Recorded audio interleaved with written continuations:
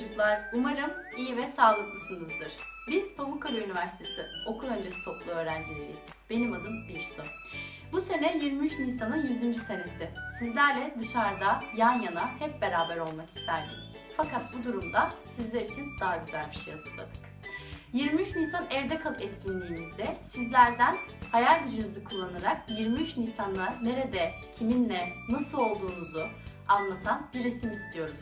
Bu resmi çizerken veya bu resmi çizdikten sonra elinizde tutarak 23 Nisan'ın 100. senesini coşkulu bir şekilde kutlarken video veya fotoğraf istiyoruz.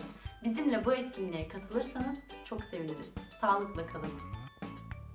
Merhaba çocuklar. Umarım hepiniz iyisinizdir ve sağlığınız yerindedir. Biliyorsunuz önümüzde 23 Nisan var ve evde olmamız tabii ki 23 Nisan kutlamamıza engel değil.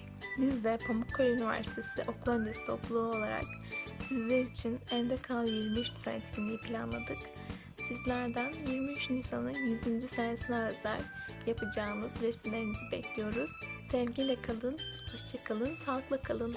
Merhaba çocuklar. Umarım sizin ve sevdiklerinizin sağlığı yerindedir. Hepiniz iyisinizdir. Biliyorsunuz bu sene 23 Nisan'ın 100. senesi. Biz de okul öncesi eğitim topluluğu olarak 23 Nisan'ı sizlerle birlikte kutlamak istiyoruz. Sizden istediğimiz 23 Nisan'a özel bir resim yapmanız ve yine bu resminizle birlikte 23 Nisan'ı kutladığınız bir video çekmeniz.